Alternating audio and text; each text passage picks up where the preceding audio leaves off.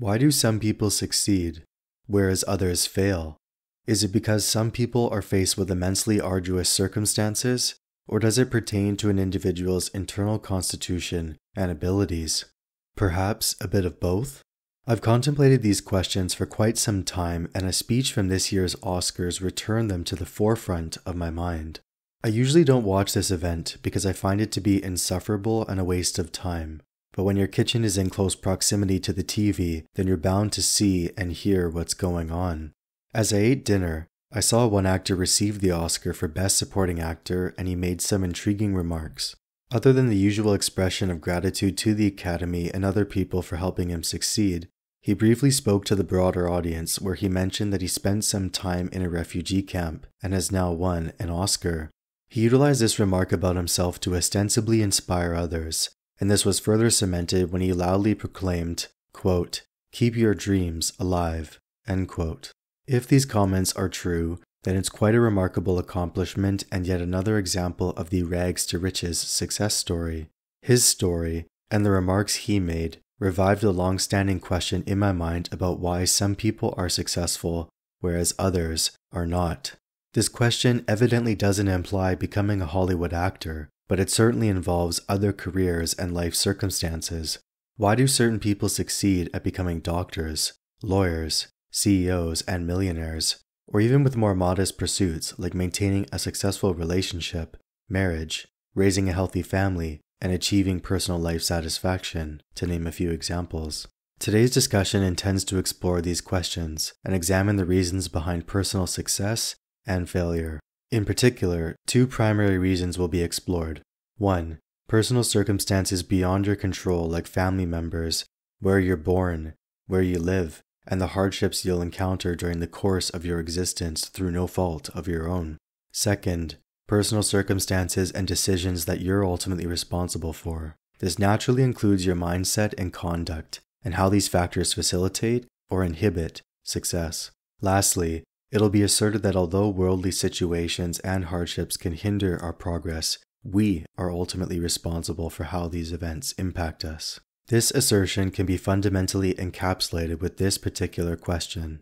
If others can succeed with comparable situations and hardships, then why can't I? To begin, it would be extremely ignorant of me to not acknowledge the real world impediments that many people face on their path towards success in whatever endeavor they pursue.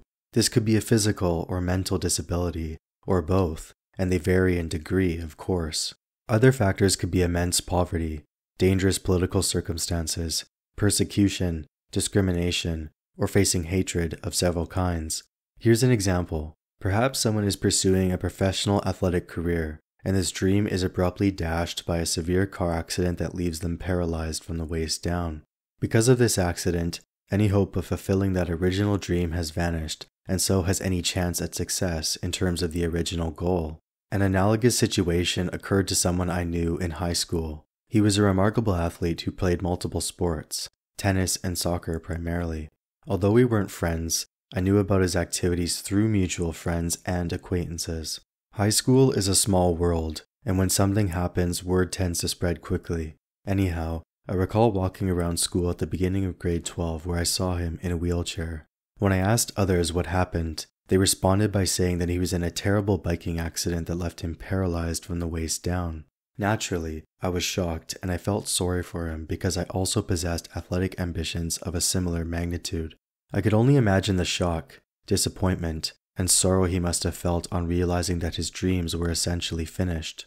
He would never get the chance to play professional soccer or tennis after that point, at least in the manner that he initially envisioned. What this story demonstrates is that for many people, this is their reality. They're unable to succeed in achieving what they desire because they're handicapped or disadvantaged in some manner, so much so that the disadvantage makes it nearly or entirely impossible to obtain their original goals. Someone doesn't necessarily need to be physically handicapped, but they could have a mental impairment instead, or develop one at some point in their life.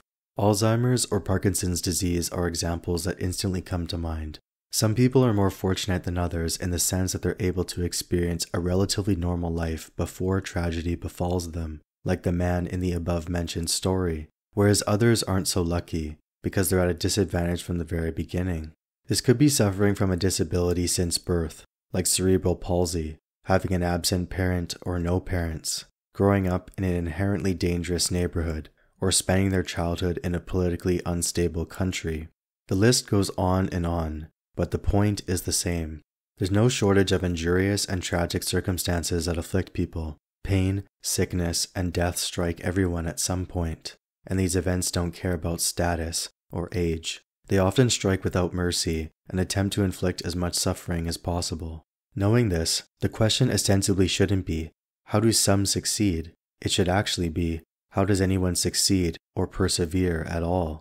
How can anyone gather sufficient courage to confront the immense pain and hardships associated with existence? I don't intend for this to be a doom and gloom, but these remarks are extremely valid and real in the minds of a vast number of people. Unfortunately for some, the detrimental experiences of existence and the accompanying dark thoughts are too much to bear. Why do some people fail and not succeed? You wouldn't be incorrect in claiming that, to a frequently indeterminate extent though, it was due to the tragedies of life and or they lacked favorable circumstances. It seems then that they were unable to weather the storm and to overcome the calamities that befell them.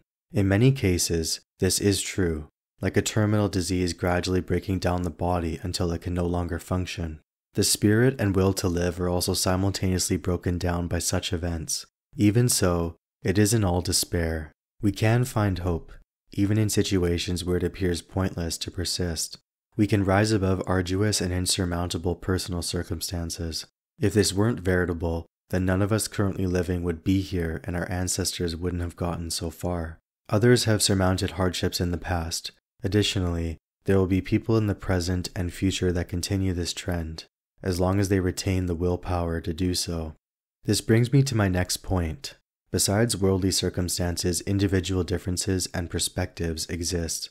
Hardships and tragedies will impact everyone at some juncture.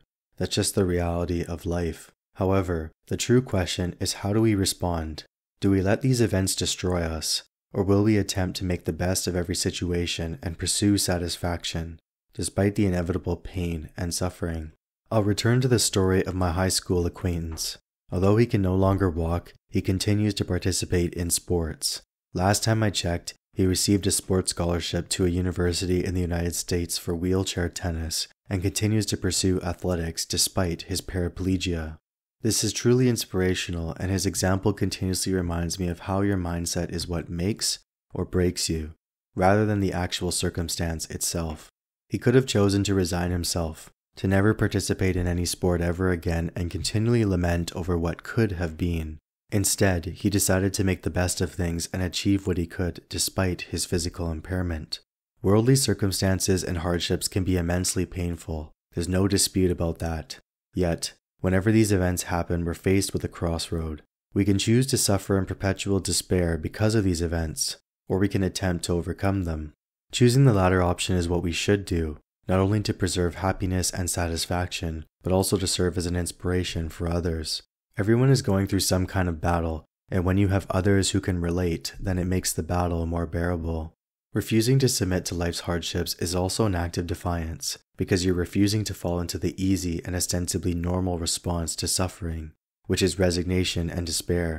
If life is a test, then defying the odds and overcoming immense difficulties is likely a surefire way to pass the test.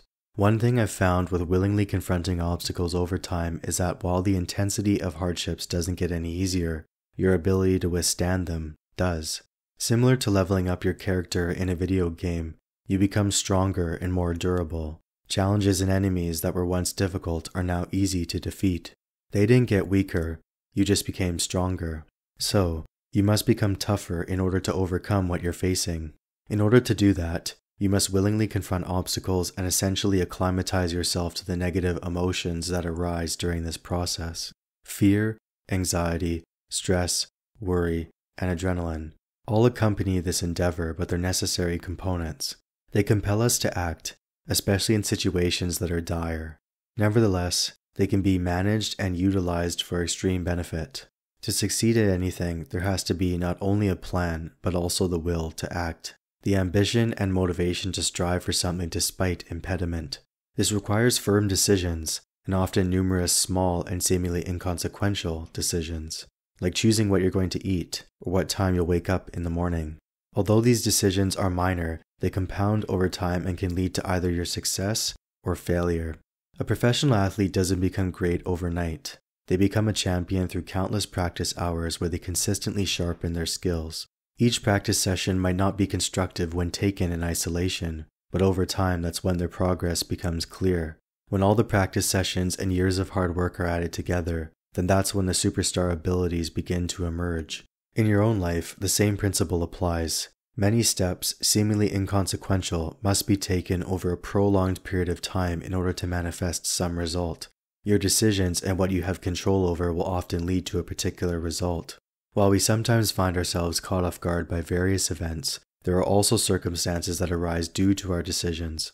This is especially the case when these circumstances are poor or catastrophic. We often don't just find ourselves in a situation, it's more than likely that our decisions have led to, or at least substantially contributed to, such a result, like ending up in a car crash after drinking too heavily.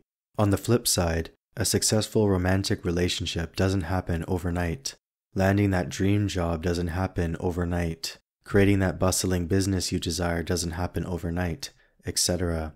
Whatever aspirations you have, there has to be a genuine willingness to pursue them and to confront the obstacles that'll inevitably try to hinder your efforts. So, in conclusion, why do some succeed and others fail? Circumstances, tragedies, and hardships play a role, but so does individual mindset. Those who succeed work hard, but they also work smart. They seize on their opportunities and they learn from their mistakes. Otherwise, they wouldn't be able to progress. When they encounter setbacks and disappointments, they refuse to be destroyed by them. This doesn't imply the absence of emotion, but it does suggest that they experience these emotions and manage them through effective coping mechanisms. Ultimately, they make the best of detrimental situations and go from there. Perhaps some succeed because they have connections and a broad network. Indeed, but how do you go about making connections? By venturing out into the world and facing the fears associated with establishing a vibrant social network. There are many problems, but there are also solutions to these problems. Although they may be hidden, they can be found if you're willing to search for them. Maybe you'll need some luck, but you likely won't get lucky if you don't attempt to use your ingenuity to think outside the box in the search for answers. A remark that's often attributed to renowned golfers Arnold Palmer and Gary Player is, quote, It's funny, the more I practice, the luckier I get. End quote. Perhaps this insight reveals how luck, or fortune, favors those who are willing to try and put in the effort towards obtaining something of value. You can't dig up a treasure chest and receive the fortune or reward if you aren't willing to dig for it. Finally, remember that if others can succeed despite suffering comparable situations and afflictions, then why can't you? Why indeed? And that's something you must uncover for yourself.